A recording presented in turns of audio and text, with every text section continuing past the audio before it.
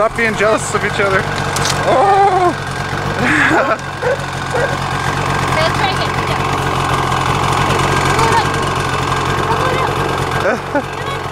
so cute.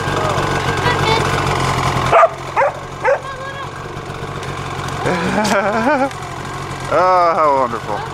Look at that. See ya.